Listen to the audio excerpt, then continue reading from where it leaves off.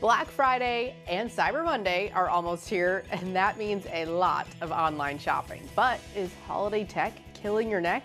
Dr. Alex Vidan from Vidan Family Chiropractic in Brentwood is here to help. Dr. Alex Vidan, great to see you again. Oh, thank you. Thank you for having me, Dana. Great to be Okay, here. I know that I'll be doing some online shopping for sure. I love Black Friday. I love Cyber Monday. It's so yeah, fun. who doesn't? But from your perspective, um, there's a, a right and a wrong way to shop online. Yeah, so it's you know it's not only the shopping online part, right? That's part of it, but also it's the it's what we're doing with with the tech that we're buying, with the things that we're getting too, right? So so like you said, Cyber Monday's coming and, and all those kind of things. So one of the big things is, is is how are we positioned when we're when we're our daily life on our computers? We fact that when we're looking down at our at our phones and our devices that we're usually doing that for an average of about four to five hours a day when we're on there doing everything from emails and texting and social and all that kind of stuff. And we don't think about our positioning when we're doing that too, which can create a lot of problems like headaches, migraines, upper back pain, all that. So if we imagine that our head weighs 10 pounds plus or minus, right?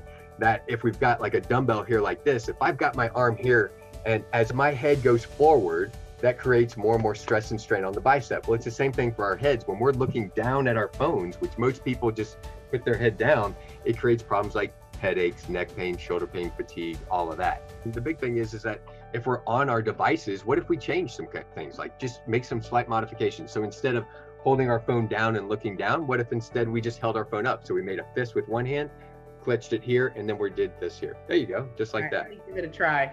Yeah. See, All look right. at you, like a pro, right?